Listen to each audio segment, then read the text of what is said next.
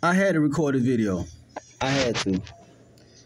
And the reason why I had to record the video because when I first made the last video, I was at $33. I stayed down, had it on automatic. I was probably still at like $35. So I changed the game up. I went to this little spin thing. I don't even know the name of it right now. But it's on Betfury. Two hours later, I'm at $100 and I'm still climbing.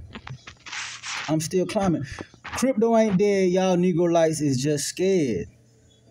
Listen, hit the referral link. Make sure you, if you out, the, if you're not, if you're in the United States, use the VPN.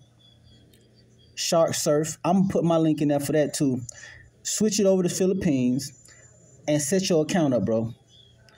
And, and let it ride out. This better than mining. I set the risk at low. I keep my amount moderate and I roll.